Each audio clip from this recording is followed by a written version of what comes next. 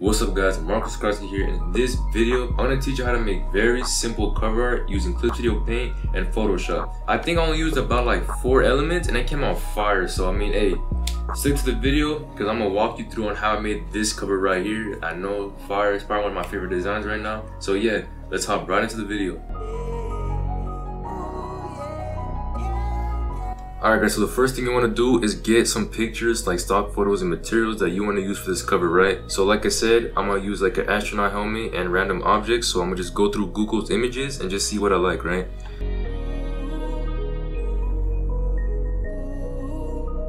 I got our images in the, the program. Alright, so easiest way for me just to get this magic wand right here and just click the backdrop and then this mask button right here boom, and then boom. Like that's that easy. That's like that's why I love Photoshop, man. So easy, right? Boom, save it, right? Onto the next one.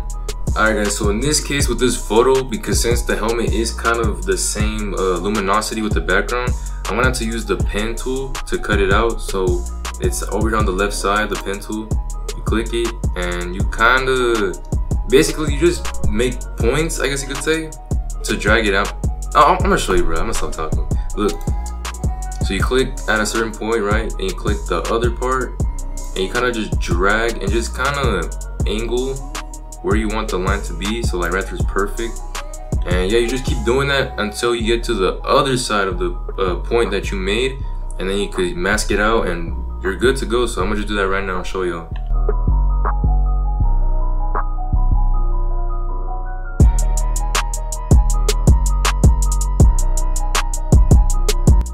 Alright, and there we go guys. We just masked out, or how do you say? We just cropped the image out of the picture that we wanted. So let's transfer these files right to Clip Studio Paint. Alright guys, so now we're in Clip Studio Paint and now you're gonna uh, drop our images that you're gonna use for the cover. So I don't really have too many. I think I have only have like what like five elements. So import image, uh, go to the, the file that you're using. I don't know why, oh yeah. So we're using this, uh, this, this this. Alright, so now that you got all your images in the file the project, whatever you want to call it, right? Um, basically, you're gonna start off with the main focus of the cover, which is the helmet, right? So in this case, I'm gonna try to make this helmet as centered as possible and just kind of scale it to see where I want it. So I think right about there. Oh, if you want to know how to use the grid that I just have right here, you go to view, and just click grid and then if you want to adjust the grid and whatnot you click grid slash ruler bar settings and you'll be good to go right? All right so now that's in the middle and i think that's a pretty good spot where i want it. Yeah that's that's a good spot for me. All right so now let's start actually cropping these photos or blending them in i guess you could say right? So i kind of like the theme that the helmet has but i, I do want to edit just a little bit. I'm gonna just play around and just see where I want each object to be and then from there we could, you know, edit, add highlights, shadows, whatever you want, right? But yeah, first just get everything where you want it to.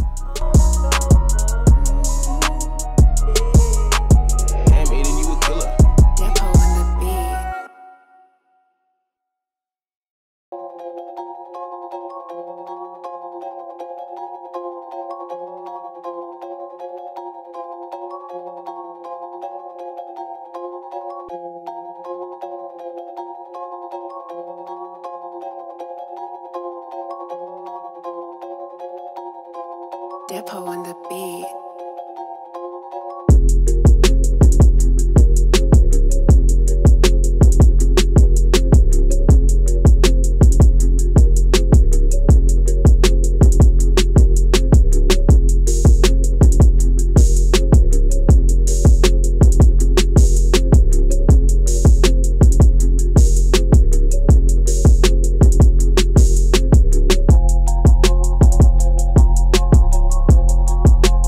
Alright guys, so I got everything in place where I want everything to be. I think everything looks pretty good. So now we can finally composite all these images together, right? So the first thing I want to do, right, is I want to kind of hide everything behind the helmet, like just this part right here. So I'm going to rasterize this layer, drop the opacity, and you kind of can see where the helmet uh, finishes. So in this case, I'm going to use the eraser tool. Uh, I think hard, yeah yeah, hard eraser will definitely work good right here. So I'm gonna erase everything. Oh shit, let me bring it up.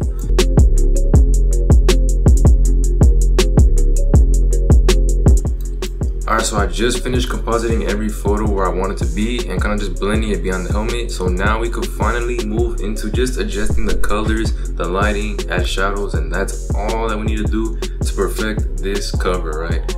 So yeah, let's do that right now.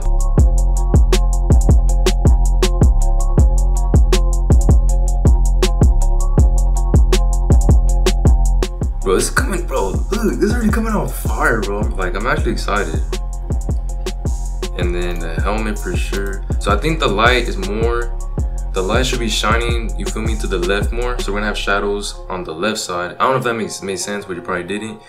But you'll see what I'm saying. So I'm gonna add some shadows behind the helmet, for example. So like right here.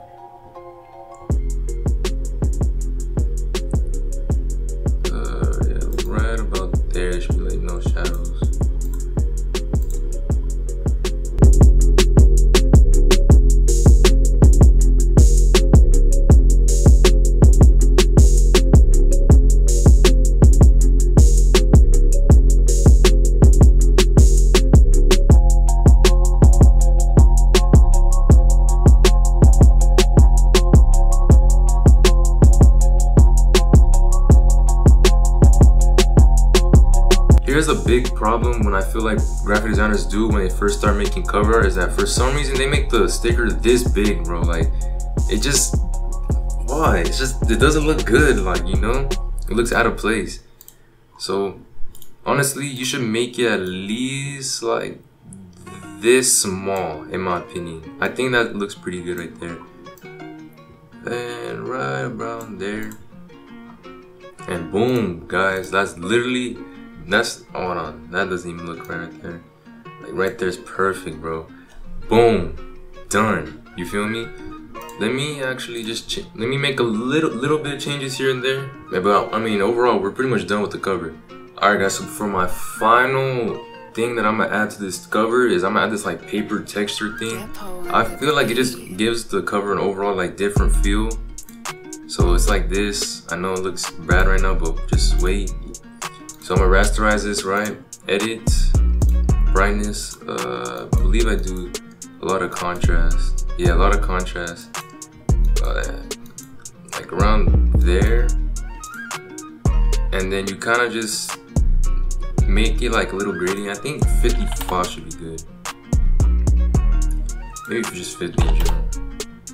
And boom, you feel me? It sounds like, it sounds like a little gradient thing. And I, I don't know, it just looks cool. For me, that looks cool. And there you go guys. That is how you make a very simple cover art for beginners right and everything. I hope this video was very helpful to you guys. If you want to see more comment down below and like this video. Support your boy you feel me? Follow me on instagram if you haven't at marcos Croskey.